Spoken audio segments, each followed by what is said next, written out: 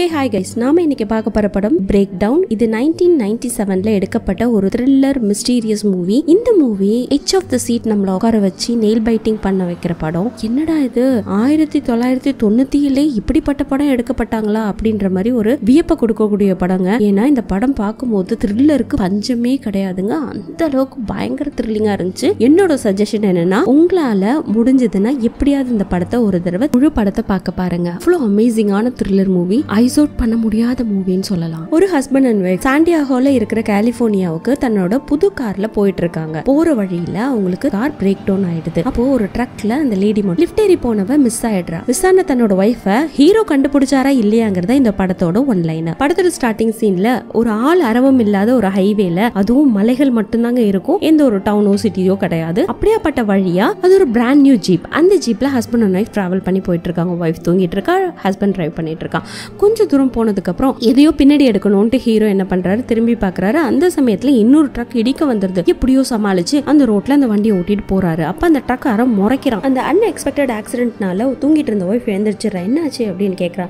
ஒன்றும் இல்லை. இப்போதான் திரும்பி பார்த்து இந்த வாட்டர் கேன் எடுத்தால் அதுக்குள்ளே வந்து ஆக்சிடென்ட் ஆகிற நிலைமை ஆயிடுச்சுன்னு நம்ம கொஞ்சம் ரெஸ்ட் எடுத்துக்கலாம். பக்கத்தில் ஏதாவது டைனிங் வந்தாலோ இல்லை பெட்ரோல் பங்க் வந்தாலும் நிறுத்துங்க. நம்ம ரெஸ்ட் எடுத்துக்கலாம்னு சொல்லிட்டு போகிறாங்க அதே மாதிரி பெட்ரோல் பங்க் வந்துடுது ஒய்ஃப் ஸ்நாக்ஸ் வாங்க போயிட்டா. ஹஸ்பண்ட் பெட்ரோல் போட்டுட்டு இருக்கான். இன்ஜின் ஆயில் ஊற்றிட்டு இருக்கான். அந்த சமயத்துல பக்கத்துல அந்த ட்ரக் இடிக்க வந்துச்சு இல்லைங்களா? அதுல ரெண்டு பேர் உட்காந்துருக்காங்க ஒரு குண்டனும் ஒன்னொருத்தனும் அவன் என்ன பண்றான்? இறங்கி வந்து ரொம்ப அழகான காரு அப்படின்னு சொல்லிட்டு காரை புகழ்ந்துகிட்டே இருக்கான். திடீர்னு ஒம்பிழுக்க ஆரம்பிக்கிறான். நீ தானே என்ன ரோட்ல இடிக்க வந்த? உன் கண்ணை எங்க வச்சுட்டு ஓட்டுற? அப்படி இப்படின்னு கேட்டோன்னே சாரி சாரின்னு இவன் சொல்லிடுறான். இப்ப ஒய்ஃப் ஸ்நாக்ஸ் எல்லாம் வாங்கிட்டு வந்துட்டு இருக்கா. வந்தவகிட்ட இவன் பிரச்சனை பண்றான். என்னங்க யாருங்க இவன் பிரச்சனை பண்றான்னு? ஒண்ணும் இல்ல. வர வழியில சின்ன ஆக்சிடென்ட் ஆச்சுல அதுல வந்தவன் இவன் தான் அப்படின்னு சொல்லிட்டு இவங்க கார்ல ஏறி அவங்க போக ஆரம்பிச்சிடுறாங்க. எதையும் இவங்க கவனிக்கல. வண்டி மூவாகும் போது அந்த குண்ட ஒருத்த கார்ல உட்காந்துருந்தா இல்லைங்களா? ஆப்போசிட்ல வந்த ட்ரக்ல அவன் அந்த காருக்குள்ள இல்ல. இவங்க ரொம்ப தூரம் போனதுக்கு அப்புறம் வண்டி பிரேக் டவுன் ஆயிடுது. ஐயோ என்ன ஆச்சுன்னு சொல்லி இறங்கி வண்டியை செக் பண்ணி பாக்குறாங்க. வண்டியில ஏதோ ப்ராப்ளம் இருக்கு. பட் என்ன ப்ராப்ளம் கரெக்டா கண்டுபிடிக்க முடியல. ஒய்ஃப் பயங்கரமா கிண்டல் பண்றா. இப்பதான் உங்களுக்கு புது வேலை கிடைச்சிருக்கு. நம்ம சாண்டியாகோ கலிபோர்னியாவுக்கு போயிட்டு இருக்கோம் இந்த சமயத்துல இது மாதிரி நம்ம கிட்ட காசு வேற கம்மியா இருக்கு. கரெக்டான டிசிஷன் தான் கார்ல வரணும்னு நினைச்சது அப்படின்னு சொல்லி கிண்டல் பண்ண அவங்க ரெண்டு பேரும் சிரிச்சு பேசிட்டு இருக்கும் போதே அவங்க வம்பிழுத்தாங்க இல்லையா? அந்த ட்ரக் இவங்கள பாஸ் ஆகி போகுது. இவங்க கிட்ட லிஃப்ட் கேட்டா வேலைக்கு ஆகாது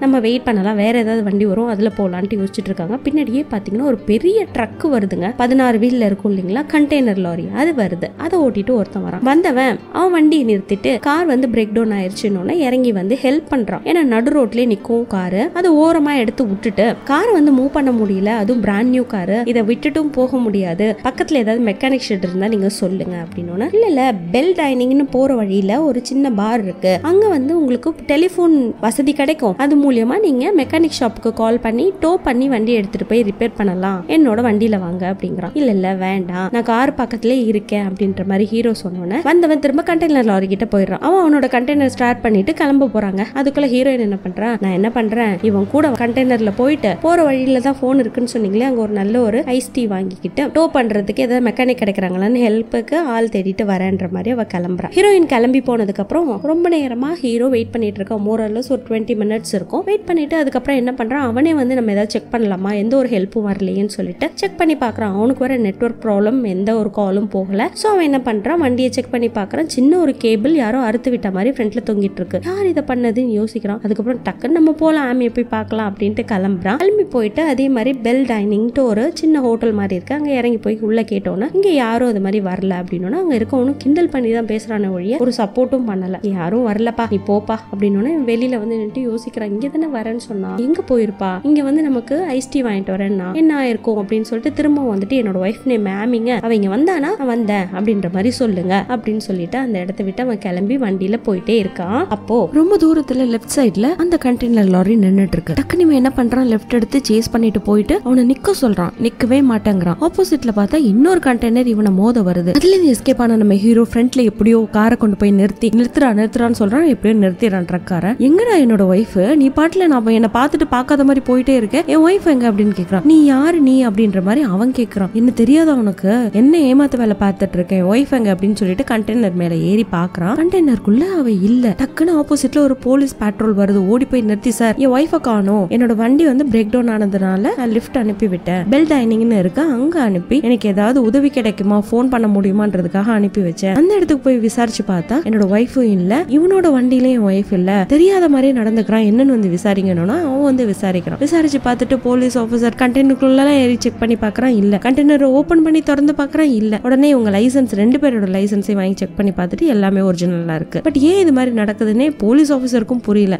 ட்ரக்கார அவரோட ஒய்ஃப் எப்பயோ காணா போயிருப்பாங்க போல இருக்கு. அந்த மன உளைச்சல்ல இவர் சுத்திட்டு இருக்காரு. என்னை விடுங்க சார் எனக்கு நிறைய வேலை இருக்கு. அப்படின்னு சரிப்பா நீ உன் வேலையை பார்க்க போ அப்படின்னுட்டு ஹீரோ கிட்ட நீங்க கொஞ்சம் பார்த்து நடந்துக்கங்க. இங்கெல்லாம் உங்க ஒய்ஃப் இல்ல. நீங்க வந்து எதுவா இருந்தாலும் கொஞ்சம் தூரத்துல போலீஸ் ஸ்டேஷன் இருக்க அங்க போய் ரிட்டர்ன் ஸ்டேட்மெண்ட் எழுதி கொடுங்கன்னு இவ கார் எடுத்துட்டு வேகமா போய் அங்க ரிட்டர்ன் ஸ்டேட்மெண்ட் எழுதி கொடுக்கறதுக்கு போறாங்க. அங்க கிட்டத்தட்ட ஒரு ஐநூறு அறுநூறு பேருக்கு மேல காணா போன ஒரு கம்ப்ளைண்ட் ரெஜிஸ்டர்ட் ஆயிருக்கு. அங்க இருக்க போலீஸ் ஸ்டேஷன் சவுத்துல எல்லாரோட போட்டோவும் ஒட்டி இருக்கு அபியூஸ் பண்ணப்பட்டவங்க குழந்தைகள் பெரியவங்க ஈவன் மேல் கூட காணா போயிருக்க மாதிரி போட்டோஸ் எல்லாம் இருக்கு. அதையும் உத்து குறுக்குறுன்னு பார்த்துட்டு இருக்கா அங்க இருக்க ஆஃபீஸர் சொல்றான் சார் ஸ்டேட்மெண்ட் எழுதி கொடுத்துருக்கீங்க. உங்க ஒய்ஃப் கிடைச்சா கண்டிப்பா நாங்க சொல்றோம். டுவெண்ட்டி ஃபோர் ஹவர்ஸ்க்கு அப்புறம் நாங்க வந்து ஆக்ஷன் எடுக்க ஆரம்பிக்கிறோம். அப்படின்ற மாதிரி சொன்னோன்னே எங்களால ஆன முயற்சி நாங்க பண்றோம் சார் சார் பட் எங்களால் கண்டுபிடிக்க முடியலன்னா நாங்கள் என்ன பண்ணுறது கொஞ்சம் பொறுமையா இருங்க. கண்டிப்பாக கண்டுபிடிப்போம் அப்படின்ற மாதிரி சொல்கிறாரு அவர் மேலே நம்பிக்கையே இவருக்கு வரல. திரும்பவும் வண்டி எடுத்துக்கிட்டு அதே டைனிங்க்கு போறாரு. டைனிங்க்கு போயிட்டு திரும்பவும் விசாரிக்க ஆரம்பிக்கிறாரு. இந்த தடவை பார்த்தீங்கன்னா அங்கே இருக்கவங்களும் ரொம்ப திமிரா இருக்க மாதிரி அவருக்கு ஒரு ஃபீல் ஆகுது. ஒவ்வொருத்தரும் முரட்டுத்தனமாக இருக்க மாதிரி இருக்கு. ஏதோ ஒன்று நடந்திருக்கு. அசம்பாவிதம் நடந்திருக்குன்னு தெரியுது. பட் எங்கே அது நடந்துச்சுன்ற கரெக்டான இன்ஃபர்மேஷன் இல்லை. இவன் போயிட்டு அந்த பார் டெண்டர் இருக்காரு இல்லைங்களா? அவன்கிட்ட கேட்கிறான். நீங்கள் வச்சிருக்க அந்த லிஸ்ட்டு கொடுங்க. அதில் என்னோட ஒய்ஃப் ஏதாவது ஆர்டர் பண்ணியிருந்தா அந்த ஆர்டர் லிஸ்ட்ல இருக்கும் அப்படின்ற மாதிரி கேட்டு வலுக்கட்டாயமா அதை வாங்கி செக் பண்ண பாக்குறான் அப்போ டெண்டருக்கு கோவம் வந்துருது. டக்குன்னு ரைஃபிள் எடுத்துட்டு மரியாதையா கடையை விட்டு வெளியில போ. இல்லன்னு வச்சுக்கோயேன் கண்டிப்பா உன்னை இங்கேயே சுற்று வேணும்னா அப்படியே ரிவர்ஸ் எடுத்து அப்போ வெளில போயிடுறான். வெளில போயிட்டு என்ன பண்றதுனே தெரியாம நின்றுட்டு இருக்கான். மெயின் ரோட்ல ஒரு ஃபோன் பூத் இருக்குங்க. அதுல போய் டக்குன்னு போலீஸுக்கு கால் பண்ணிட்டு இருக்கான். அந்த சமயத்துல ஒரு ஸ்பெஷல் பர்சன் மாதிரி ஒருத்தன் காரை தொடச்சிட்டு இருக்கான். அவன் டக்குன்னு கூப்பிட்டு என்னோட பேர் பில்லி. நீ என்ன பண்ணிட்டு இருக்க? உன் ஒய்ஃபை தேடிட்டு இருக்க உன் ஒய்ஃப் கொஞ்ச நேரத்துக்கு முன்னாடி தான் அந்த கடைக்கு வந்தா. ஒரு ட்ரக்ல வந்தா. அப்புறம் இன்னொரு ட்ரக்ல போயிட்டா அப்படிங்கிற மாதிரி சொன்னோன்னே என் ஒய்ஃப் போறதுக்கு சான்ஸ் இல்ல? எப்படி போனா யாராவது கம்பல் பண்ணி இழுத்துட்டு போனாங்களா? அப்படின்னு கேட்க இல்ல அதெல்லாம் எனக்கு தெரியாது. அவ வேற ட்ரக்ல போனது மட்டும் தான் தெரியும். அவளை எங்க பாக்கலாம்னா ஒரு ஆத்து கிட்ட பார்க்கலாம் அப்படின்றான் எந்த இடத்துக்கிட்ட நீ கம்பல் பண்ணி கேட்டோன்னா உங்ககிட்ட எல்லாம் சொல்ல முடியாது. ஆல்ரெடி என்ன லூசுன்னுவாங்க. இங்க இருக்கவனுங்க எவனும் பதில் சொல்ல மாட்டானுங்க. உங்ககிட்ட நான் என்னத்து சொல்றதுன்னா இல்ல நீ சொல்லலைன்னா நான் போலீஸ் கிட்ட போகணும்னா இப்ப நீ தான் லூசு. ஏன்னா போலீஸும் இதுல இன்வால்வ் ஆயிருக்கு. அவங்கள்ட்ட எல்லாம் போய் சொல்லலாமா? அப்படின்ற மாதிரி இவன் சொல்றான். சரி என்ன பண்றதுன்னு தெரியாம அவன் சொன்ன இடத்துக்கு இவன் வண்டி எடுத்து கிளம்புறான். கிளம்பி ஃபாஸ்டா போயிட்டு இருக்கும்போது அவன் சொன்ன குறிப்பிட்ட இடத்துக்கு போனா அங்க கேட் எல்லாம் மூடி இருக்குங்க. அதுக்கு மேல போறதுக்கு வழியே இல்ல. சோ அவன் பொய் சொல்லி இவனை டைவர்ட் பண்ணிருக்கான்றது நல்லா தெரியுது. என்ன பண்றதுன்னு தெரியாம காரை ரிவர்ஸ் எடுக்கிறான். பின்னாடி பார்த்தா இந்த வம்பிழுத்தானுங்க பாத்தீங்களா? இன்னொரு வேன்ல வந்துட்டு அந்த பெட்ரோல் பங்க்ல எல்லாம் அவனுங்க வந்துட்டு இருக்கானுங்க ஐயோ இவன் வரானே அப்படின்ட்டு என்ன பண்றதுன்னு தெரியல. எல்லாருக்கும் சம்பந்தம் இருக்குன்றதை இவன் கண்டுபிடிச்சிடறான். என்ன பண்றதுனே தெரியாம அந்த கேட்டை உடைச்சிக்கிட்டு உள்ள போயிட்டு ரொம்ப தூரம் போறாங்க. ஆனா குறிப்பிட்ட தூரம் போறவன ஒரு ஜேசிபி வேனு லாரி அதெல்லாம் நின்றுட்டு ரோட பழுது பார்த்து இருக்கிறதுனால அவனால கண்டினியூஸா போக முடியல. ரைட் எடுக்கிறான். ரைட் எடுத்தா பெரிய பள்ளத்தாக்கு கீழே ஆறு போயிட்டு இருக்கு. அப்போ இவனால கண்டினியூஸா ஓட்ட முடியாது. பட் உயிர் வேணும். உயிர் இருந்தாதான் ஒய்ஃபை தேட முடியும். என்ன பண்றதுன்னு தெரியாம பள்ளத்தாக்குல காரை இறக்கிறான். உன்னோட கார் தண்ணியிலே மிதந்துட்டு கொஞ்சம் குறிப்பிட்ட தூரம் வரையும் போதுங்க. அதுக்கப்புறம் பார்த்தா தண்ணியில முழுக ஆரம்பிச்சிருது காரு அப்போ என்ன ஆகுதுன்னா அந்த காருக்குள்ள இருந்து வெளியில வரதுக்கு இவன் ட்ரை பண்ணி வெளியில வருவான். பின்னாடி துரத்திட்டு வந்தவன் கண்ணால சுட ஆரம்பிக்கிறான். தண்ணிக்குள்ளேயே மூழ்கி அந்த சைடா எஸ்கேப் ஆகி போறாங்க. அப்படி போயிட்டு இருக்கும்போது அவன் விடாம துரத்தி துரத்தி துடுறான். மேல இருந்து புல்லட் இவன் மேல படாத அளவுக்கு பார்த்துக்கிட்டு என்ன பண்ணிடுறான்? ஒரு இடத்துல ஒளிஞ்சுக்கிறான். அந்த சமயத்துல இவன் ஃபோன் பண்ணி அவன் மிஸ் ஆயிட்டான். அவனை கண்டுபிடிக்கிறது கஷ்டம். காரை மட்டும் விட்டுட்டு அவன் ஏறி இருந்தானா? காரை நம்ம சுட்டுருக்கலாம். இப்போ பொண்டாட்டியை தேடி இந்த அளவுக்கு வருவான்னு தெரியல. இவனை விட்டு வச்சா நமக்கு பெரிய பிரச்சனை. இவனை எப்படியாவது தேடி கண்டுபிடிச்சு இவனை கொல்லணும்ட்டு தேட ஆரம்பிக்கிறானுங்க. இன்னொரு பக்கம் அவனுங்க பெரிய ட்ரக் எடுத்துட்டு வந்தான் இல்லையா? அந்த ட்ரக்ல கயிறை போட்டு காரையும் எடுத்துட்டானுங்க. மேல இருந்து எட்டி பார்த்துட்டு இருக்கான். அவன் பின்னாடி இந்த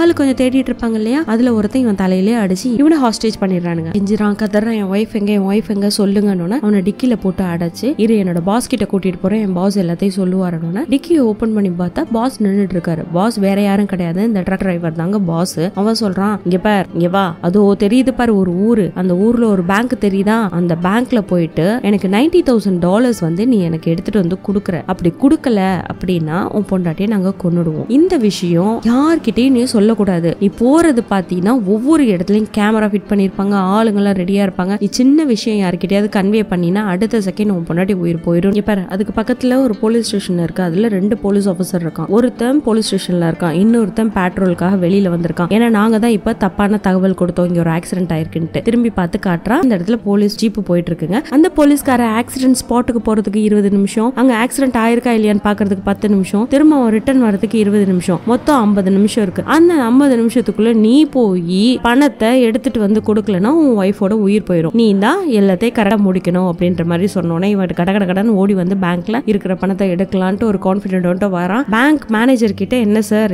ஏதாவது அடிபட்டுருச்சா அப்படின்னு கேட்டானா இல்ல நான் நல்லா தான் இருக்கேன். எனக்கு பணம் மட்டும் எடுக்கணும். நான் வேற ஊரை சேர்ந்தவன். எனக்கு பட் இங்க பணத்தை எடுக்க முடியுமா? அப்படின்னு கேட்கறான் கிரெடிட் கார்டுல இருந்து பணம் எடுக்க முடியுமான்னு கேட்கறான் இவங்கிட்ட இருக்கிற பணம் பாத்தீங்கன்னா ஃபைவ் தௌசண்ட் டாலர் தாங்க இருக்கும். என்னோட கிரெடிட் கார்டு வச்சு எவ்வளவு பணம் அட்வான்ஸ் பண்ண முடியும் அப்படின்னு கேட்கறான் இவன் எதுவும் பிரச்சனையில் இருக்கான்றத பேங்க் மேனேஜர் கண்டுபிடிச்சிடறான். பக்கத்துல ஒருத்தர் நின்றுட்டு இருக்காங்க அவன் வந்து கார் லோனுக்கு அப்ளை பண்ணனே என்ன ஆச்சுன்னா பேங்க் மேனேஜர் இந்த சீட்ல உட்காருங்கன்றான். கரெக்டா இவனுக்கு ஃப்ரண்ட்ல அவன் உட்காந்துருக்க மாதிரி இருக்கு. இவன் ஏதோ சொல்ல வருவாங்க. அதையும் சொல்லாம இவன் பாக்குறத அவன் நோட் பண்ணிடுவான். சோ அவன் அமிச்ச ஆள் தான் இவன் அப்படிங்கறது நல்லா தெரிஞ்சிடும் எதுவும் சொல்ல மாட்டான். எவ்வளவு மெதுவா சொல்ல முடியுமோ சொல்லுவான். என் ஒய்ஃபை கடத்தி வச்சிருக்காங்க. எனக்கு இவ்வளவு பணம் கேட்டுட்டு இருக்காங்க நைன்டி தௌசண்ட் டாலர் நீங்க அதை எனக்கு ஏற்பாடு பண்ணி கொடுங்க. கண்டிப்பா அதை ரிட்டர்ன் பண்ணிடுறேன். பட் இந்த விஷயம் வேற யாருக்கும் தெரிய வேணாம் அப்படின்னு ரொம்ப கஷ்டப்பட்டு சிக்னல்ல சொல்லிடுறான். இதை புரிஞ்சுக்கிட்ட பேங்க் மேனேஜர் டக்குன்னு எழுந்து போயிட்டு இவனோட அக்கௌண்ட்டை செக் பண்ற மாதிரி செக் பண்றான். அதே மாதிரி கார் லோன் கேட்டவனையும் நோட் பண்றான். அவன் இவனை நோட் பண்றதை கண்டுபிடிச்சு சரி இங்க பிரச்சனை இருக்குன்றதுனால இவன் எந்த போலீஸ்க்கும் ஃபோன் பண்ணாம அவன் கேட்ட பணத்தை கொடுத்து அனுப்பிச்சிடுறான். அந்த பணத்தை எடுத்துக்கிட்டு இவன் நேரா வந்து ஒரு ஃபோன் பூத் இருக்கு. அந்த ரோட்ல யாருமே இல்ல. அந்த போனை டக்குன்னு அட்டன் பண்ணி பேசுறான். அந்த ட்ரக் டிரைவர் தான் பேசுறான். இந்த இடத்துல நீ குறிப்பிட்ட தூரம் வந்தீங்கன்னா அந்த ஜீப்ல வந்தவனுக்கு சண்டை போட்டானுங்க இல்லையா? அவனுங்க வருவானுங்க. அவன்கிட்ட நீ பணத்தை கொடுத்துரு அப்படின்ற மாதிரி சொல்றான். அதே மாதிரி அவனும் வராங்க. முதல்ல என் ஒய்ஃபை காட்டுங்க. அதுக்கப்புறம் நான் பணத்தை கொடுக்குறேன்னு சொன்னோன்னே ஓவரா பேசாத அப்படின்னு சொல்லிட்டு டக்குன்னு திரும்பு. இல்லைன்னா சுட்டுடுவேன் அப்படின்னு சொல்லிட்டு அவன் கையவே கட்டி காருக்குள்ள போட்டு ரெண்டு குத்து குத்தி அவன் பாட்டில் கூட்டிகிட்டே போயிட்டே இருக்கான். எந்த ஒரு ரெஸ்பான்ஸும் பண்ணல. பணத்தை எடுத்து மட்டும் பார்த்துட்டு கண்டிப்பாக உன் ஒய்ஃபை காட்டுறேன் அப்படின்னு சிரிச்சுக்கிட்டே அவனை கூட்டிட்டு போறான். அவன் போயிட்டு இருக்கும் போதே கையில ஒரு கத்தி வச்சிருப்பான். பேங்க்ல இருந்து எடுத்திருப்பாங்க. அந்த கத்தி வச்சு கம்டே போட்டு கையை கட்டியிருப்பான். அதை கட் பண்றதுக்கு ட்ரை பண்ணுவான் பாருங்க. அப்ப கத்தி கீழே விழுந்துரும். எப்படியோ பொறுமையா அதை எடுத்து எல்லாம் ரிமூவ் பண்ணிட்டு அதுக்கப்புறம் இவனை போட்டு குத்து குத்துன்னு குத்தி இவன் கழுத்துல கம் டேப்பை போட்டுட்டு அதே மாதிரி கையில் கம்டேப்பை போட்டுட்டு உடம்பு அப்படியே சீட்டோட சுற்றி அவனை உட்கார வச்சு எங்கடா என் ஒய்ஃபு என்னடா நினச்சிட்டு இருக்க? பணம் கேட்டீங்க பணம் கொடுத்துட்டு. அதுக்கப்புறம் ஒய்ஃபை கொடுக்கலாம்ல? அதுவும் இல்லை. இப்படி பண்ணிட்டு இருக்கீங்களேன்னு சொல்லிட்டு அவன் பாட்டில் வண்டியை ஓட்டிகிட்டே போயிட்டு இருக்கான். வண்டி தாறுமாறா ஆடி ஆடி போகிறத பார்த்த போலீஸ் ஆஃபீஸர் ஏதோ ஒரு பிரச்சனைன்னு சொல்லிட்டு போன பேட்ரோல் ரிட்டர்ன் வருது. இவன் நம்பவே இல்லைங்க அந்த போலீஸ் ஆஃபீஸர் இவனை பார்த்து இவன் தான் வந்து வேற ஏதோ பண்ணிட்டு இருக்கான் தப்பு பண்ணிட்டு இருக்கான் அப்படின்ட்டு டக்குன்னு கன் எடுத்து இவரை நீட்டி நீ தான் ஏதோ தப்பு பண்ற. உள்ள யார் யாரை வந்து ஹாஸ்டேஜ் பண்ணிருக்க யார் கொடுமைப்படுத்துறன்னு இவன் கேட்க போலீஸ் ஆஃபீஸர் கொஞ்சம் இருங்க உள்ள இருக்கவன் கெட்டவன் என் பொண்டாட்டி அவன் தான் கடத்திருக்கான் இந்த விஷயம் எல்லாம் சொல்றான். அவன் கேட்கற மாதிரியே இல்லைங்க. இவன் கண்ணை வந்து இவன் பக்கம் நீட்டிட்டு இருக்கானா? உள்ள இருக்கவன் டக்குன்னு அவனோட கட்டை ரிலீஸ் பண்ணிட்டு இவனை வந்து பாக்ஸ்குள்ள ஒரு கண்ணை மறைச்சு வச்சிருப்பான். அதை எடுத்துட்டு வந்து போலீஸ் ஆஃபீஸரை பொட்டுன்னு சுட்டுறான். போலீஸ் ஆஃபீஸர் அதே இடத்துல உயிர் போராடிட்டு இருக்கான். என்ன பண்றதுன்னே தெரியாம இவன் என்ன பண்றான்? அந்த கேப்ல கண்ணை எங்க தூக்கி போட்டோன்ட்டு அந்த பள்ளத்தாக்குல இறங்கி போய் கண்ணை எடுக்கிறாங்க. காரன் விடாம சுட்டுட்டே இருக்கான். பின்னல இருந்து போலீஸ் ஆஃபீஸர் கண்ணு வச்சிருப்பான் இல்லைங்களா? ட்ரக் காரனை கொண்டுடுறான் டக்குன்னு என்ன பண்ணுறான் மேலே ஏறி வந்து ஆம்புலன்ஸ்க்கு கால் பண்ணி போலீஸ் ஆஃபீஸருக்கு ஒரு ஹெல்ப் பண்ணிட்டு டக்குன்னு வண்டி எடுத்துட்டு ஃபாஸ்ட்டாக கிளம்பி போகிறான் ஒரு குறிப்பிட்ட இடத்துல நிறைய கண்டெய்னர் இருக்கும். அந்த இடத்துல தான் வந்து பொண்டாட்டி அடைச்சி வச்சிருக்காங்கன்றது நல்லா தெரிஞ்சு போயிடும். அங்கே போய் பார்த்தா கிட்டத்தட்ட நூற்றுக்கணக்கான கண்டெய்னர்ஸ் இருக்கும். எந்த கண்டெய்னரில் அவன் இருக்கான்ற இன்ஃபர்மேஷனே தெரியாது. தேடி தேடி பார்ப்பான். இவனை கண்டுபிடிச்சா அவன் எந்த கண்டெய்னருக்கு போகிறானோ அந்த கண்டெய்னரில் தான் இருப்பான் அப்படிங்கிறத தெரிஞ்சுக்கிட்டு இவன் தேடி தேடி பார்க்கும்போது இவன் ஃபோன் பண்ணி பேசிட்டு இருக்கான். இவன் இந்த அளவுக்கு பண்ணுவான்னு தெரியல. ஒரு பொண்டாட்டிக்காக இவன் பாட்டில் வந்து எல்லாரையும் சுட்டு போட்டுட்டான் இதுல போலீஸ் ஆபீசருக்கும் அடிபட்டிருக்கு இந்த பிரச்சனை பெருசாயிரும் போல இருக்கு இவளை கொண்டு போய் நம்ம கொன்னுடலாம் அப்படிங்கிற மாதிரி பேசிட்டு போனை வச்சுட்டு இவன் என்ன பண்றான் ஒரு கண்டெய்னர்ல ஏறான் இவன் ஓடி போய் கண்டெய்னருக்கு அடியில தொத்திக்கிட்டே போவான் பாருங்க. ஆன் த வே ரன்னிங்ல போற வர காரெல்லாம் பார்த்துட்டு போகும். அப்படி இருந்தாலும் அவன் முன்னேறி முன்னேறி முன்னாடி போயிட்டு கொஞ்சம் கேப் இருக்கும். கண்டெய்னர் ஹெட்டுக்கும் பின்ன இருக்க கண்டெய்னர் இருக்கும். அந்த கேப்ல போய் உட்காந்துட்டு இருப்பான். கொஞ்சம் தூரம் கண்டெய்னர் போனதுக்கு அப்புறம் இருட்டிடுங்க. இருட்டி விடியவே தொடங்கிடும். அந்த கண்டெய்னர் நேரா அவனோட வீட்டுக்கு போகும். அவன் குழந்தை ஓடி வந்து அப்பான்ட்டு ஓடி வருவான். அதை எல்லாத்தையும் இவன் பார்த்துட்டு கவனிச்சுட்டே இருக்கான். பட் அமைதியாவே இருக்கான். அந்த கண்டெய்னர்காரனோட ஒய்ஃப் வந்து என்னங்க இந்த நேரத்துக்கு வந்திருக்கீங்க? இப்போ பிரேக்ஃபாஸ்ட் பண்ணுன்னு சொன்னா விடிய காலையில நான் எப்படி பண்றது? சரி உங்களுக்காக பண்றேன்னு அவன் என்ன சொல்றான்? எனக்கு ஒரு சின்ன வேலை இருக்கு. கேரேஜ் திறந்து விட. அதை நான் பிரேக்ஃபாஸ்ட் சாப்பிட வரேன். அப்படின்னுறான். இவன் இந்த குழந்தை போயிட்டு கேரேஜை திறந்து விட இவன் கண்டெய்னர் எடுத்து சைட்ல விட்டுட்டு உள்ள போறாங்க. கொஞ்ச நேரத்துல பார்த்தா இன்னொரு கண்டெய்னர் வருதுங்க. அந்த கண்டெய்னர்ல வரது யாருன்னு பார்த்தா இந்த பில்லி இன்னும் கொஞ்சம் சில பேர் வந்து நிறுத்துறாங்க. அந்த கண்டெய்னர் இருந்து ஒரு பாடியை இறக்குறாங்க. அதுக்குள்ள இவன் என்ன பண்ணிடுறான்? அந்த கண்டெய்னர்ல இருந்து மேலே ஏறி கூரை மேலே போயிட்டு அந்த கேரேஜ் இருக்கு இல்லைங்களா அதுக்குள்ள போய் ஒளிஞ்சுக்கிறான். அந்த ஓட்ட வழியா பார்த்துட்டே இருக்கான். உள்ள இருந்து ஒரு டெட் பாடியை எடுக்கிறாங்க. ஓ செத்துட்டா போல இருக்கு மானத்துக்கு உட்பட்டவ போல இருக்கு அப்படின்ற மாதிரி கிண்டலா பேசிக்கிறானுங்க. அந்த இடத்துல அந்த பாடி எடுத்துட்டு கொஞ்சம் தூரம் மூவ் ஆனோம்னா அவ துடிக்கிறா. சோ உயிர் இருக்கிறது மேல இருக்க ஹஸ்பண்டுக்கு தெரிஞ்சிருது. அது நம்ம ஆமி ஆச்சு அப்படின்றது. உடனே கொஞ்ச நேரத்துல ஃபேஸ் கட்டெல்லாம் ரிமூவ் பண்ணிட்டு பார்த்தா ஆமி டக்குன்னு பாத்துறா மேல இவன் இருக்கிறத. வாயை வேற கட்டி வச்சிருக்காங்களா? என்ன பண்றதுனே தெரியல. பேஸ்மெண்ட்ல கீழே ஒரு குடோன் மாதிரி இருக்கு. அதுல போட்டு இவளை அடைச்சிட்டு அவனுங்க பாட்டுல டின்னர் சாப்பிட போயிடுறானுங்க. என்ன பண்றதுன்னு தெரியல. இவன் லாக் உடைச்சு உடைச்சு ஓப்பன் பண்ணி பாக்குறான் உடைக்க முடியல. இது உடைக்க முடியாது. இது கீ இருந்தாதான் திறக்க முடியும்ன்றது நல்லா கன்ஃபார்ம் ஆனோன்னு ஒரு கன் இருக்கு. நிறைய பேரை கடத்தினதுக்கான தடயங்கள் அங்க இருக்குங்க. நிறைய பேரோட மணி செயின் மொபைல் கேமரா காருங்க அதோட ஸ்பேர் பார்ட்ஸ் ட்ரெஸ்ஸுங்க பேகுங்க நிறைய கிடக்கு இந்த கேரேஜ்குள்ள அதுல இருந்து ஒரு கன்னை மட்டும் எடுத்துக்கிட்டு நேராக போய் இவங்க டின்னர் சாப்பிட்டு அந்த இடத்துல போயிட்டு டக்குன்னு ஏன்னா ஒய்ஃபுக்கும் குழந்தைக்கும் தெரியவே தெரியாது. இவங்க ஒரு கொலக்காரவங்க கொள்ளக்காரவங்கன்ட்டு. ஸோ உள்ள போயிட்டு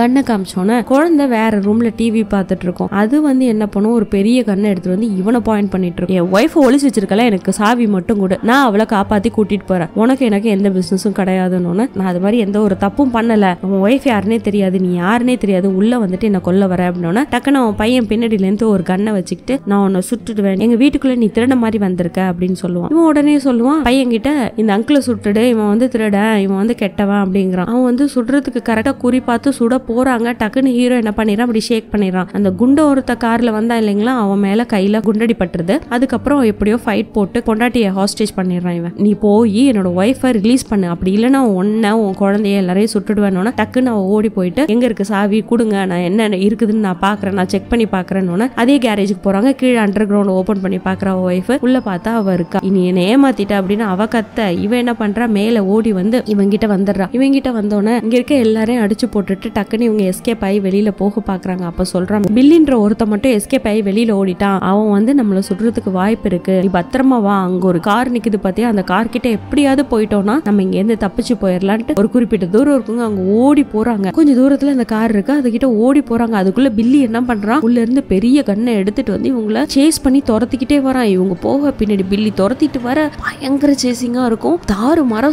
சுட்டுக்கிட்டே வராங்க. இந்த பக்கம் பாத்தீங்கன்னா இன்னொரு கார்ல இருந்து இன்னொருத்த வந்து இடிக்கிறான். இந்த பக்கம் பாத்தீங்கன்னா பில்லியோட காரு பின்னாடி வந்து கண்டெய்னர்லயும் சேமா இடிக்கிறானுங்க. இவங்களால டிராவல் பண்ணி போகவே முடியாது. தவிப்பாங்க. யாரு எப்படி கொள்ளுவானுங்களே தெரியாத அளவுக்கு ரோட்லயே சேசிங்கும் நடக்கும் ஃபைட்டும் நடக்கும். அப்படியே விறுவிறுப்பா இருக்கும் அந்த காட்சியெல்லாம் பாக்குறதுக்கு. நம்மளால அப்படியே கண்ணை ஐசோட் பண்ணவே முடியாது ஸ்கிரீன்ல இருந்து. அப்போ என்ன ஆகுதுன்னா ரொம்ப தூரம் போனதுக்கு அப்புறம் பில்லியை சுட்டுறான். இந்த பக்கம் இருக்க குண்டனோட கார் சரியா போகாது. வேற வழியா போயிடும். இவன் காரை சேஸ் பண்ண மாதிரி இந்த ட்ரக்கு காரம் ஒட்டிக்கிட்டு வருவான் பாருங்க. இடி இடின்னு பின்னல இருந்து இடிச்சுக்கிட்டே இருப்பான் இவங்க என்ன பண்றதே தெரியுமா ஒரு பிரிட்ஜ் வழியா டேர்ன் எடுத்துருவாங்க. பிரிட்ஜ் கொஞ்சம் தூரம் போனதுக்கு அப்புறம் கண்டெய்னர்ல இருந்து பின்னாடி வந்து இடி இடின்னு இடிச்சு அந்த பிரிட்ஜ்ல இருந்து கீழே தள்ளி விடுறதுக்கு ட்ரை பண்ணுவான் பாருங்க அந்த ட்ரக்குக்காரன் என்ன பண்றதுனே தெரியாது. ஆமியோட கால் நல்லா மாட்டிக்கும் கார்ல அவளால வெளியில வர முடியாது. அந்த சமயத்துல இவங்க ரெண்டு பேருக்கும் பயங்கர ஃபைட் நடக்கும். பாதி கண்டெய்னர் அந்த கார் மேல வீல் ஏறும் பாருங்க. ஆமியோட கால் அப்படியே நசுங்கும். ஐயோ அவ செதான்ற மாதிரி இருக்கும். அந்த சமயத்துல ஃப்ரண்ட் பக்கம் இருக்கு இல்லைங்களா? கண்டெய்னரோட ஃப்ரண்ட் டிரைவர் சீட்டு அது மட்டும் அப்படியே பிரிட்ஜை உடச்சிக்கிட்டு கீழே தொங்கிட்டு இருக்கும். பின்னாடி இருக்க கண்டெய்னர் ஃபுல்லா இருக்கும் இல்லைங்களா? அந்த பாக்ஸ் ஃபுல்லா வெளியில மேல ரோட்ல நின்றுட்டு இருக்கு. அந்த சப்போர்ட்ல இருக்கு. பட் எப்ப விழுனே தெரியாது. இவங்க ரெண்டு பேரும் ஃபைட் போட்டுட்டு இருந்தாங்க இல்லையா? டிரைவர் சீட்ல அவன் இருக்கான். உள்ள போய் இவன் சண்டை போட்டா இல்லைங்களா? இவனும் தொங்கிட்டு இருக்கான். அந்த இடத்துல இருந்து எஸ்கேப் ஆக முடியாம அங்க பயங்கர ஃபைட் நடக்கும். டக்குன்னு என்ன பண்ணுவான்? இந்த ட்ரக் டிரைவர் மேல ஏறிக்கிட்டு பில்லிய உதைச்சு தள்ள போவான். அந்த சமயத்துல ஒரு கயிறு மாதிரி இருக்குங்க. இரும்புல அதை எடுத்து இவன் கையில ஹோல்ட் பண்ணி வச்சிட்டு இருப்பான். அந்த செகண்டை யூஸ் பண்ணி டக்குன்னு தள்ளி விட்டுறான் ஹீரோ. அந்த சமயத்துல அவன் கீழே விழுந்துடுறான். இவன் என்ன பண்றான்? கஷ்டப்பட்டு மேல ஏறி வந்து ஆமியோட காலை விடுவிச்சு வெளியில் வெளியில வந்து பார்த்தோன்னே அவன் கீழே அடிபட்டு செத்து கிடக்குற மாதிரி இருக்கு. பட் கொஞ்ச நேரத்துல அவன் பாடி ஷேக் ஆகுது. அவனுக்கு உயிர் இன்னும் இருக்கு. சாவல போல இருக்குங்க. இவன் என்ன பண்றான்? ஆமிக்கு கோவம் வந்து அந்த கண்டெய்னரை ரிலீஸ் பண்ணி விட்டுறான் அந்த ஹெட் மட்டும் மேலே இருந்து வில்லன் மேல விழுந்து அதே இடத்துல வந்து சனி ஆயிடுறான். அதுக்கப்புறம் இவங்க ரெண்டு பேரும் அந்த இடத்த விட்டு அழுதுகிட்டே ஃபீல் பண்ணிட்டே போறாங்க. இதோட இந்த படம் முடியுது. அதனால தான் ரோட்ல போகும்போது யாருக்கும் லிட்டும் கொடுக்க கூடாது லிஃப்ட்டும் ஏறக்கூடாது. யாருமே நம்பிக்கையா இருப்பாங்கன்றது எந்த விதத்துலயும் உண்மை கிடையாது. நமக்கு தான் நம்ம ஃபர்ஸ்ட் காவலா இருக்கணும்ன்றது இந்த படம் உணர்த்துது. இன்னும் சில பல சம்பவங்கள் நடந்துகிட்டே தான் இருக்கு இல்லைங்களா? திஸ் இஸ் தமிழ் ஓக்கல் கேண்டி ஐ மீனு தேங்க்யூ ஃபார் வாட்சிங்